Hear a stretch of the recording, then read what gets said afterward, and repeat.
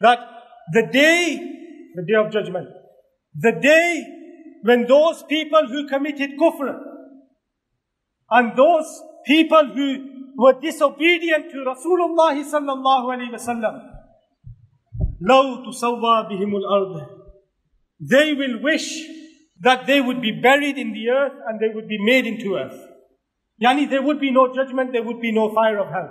They would just completely vanish. They would wish that on that day. Subhanallah. Sayyidina Abdullah ibn Masud radiallahu anh says, when I recited this and I finished, وَلَا يَكْتُمُونَ اللَّهَ حَدِيثًا He says, I looked at the Prophet Muhammad sallallahu alayhi wasallam and I saw that the Prophet Muhammad sallallahu alayhi wasallam was saying, Oh Ibn Masud, that is enough. And he says, when I looked at him, the Prophet Muhammad wasallam was crying so much that his whole blessed beard was full of tears. Do you see this fear that the Prophet Muhammad wasallam had for Allah? This was the most powerful man in the world. This was the man who could bring rain whenever he wanted.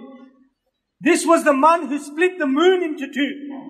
This was the man who brought the sun back when it had set. This was the greatest creation of Allah subhanahu wa ta'ala. Yet look at the fear he had for Allah subhanahu wa ta'ala.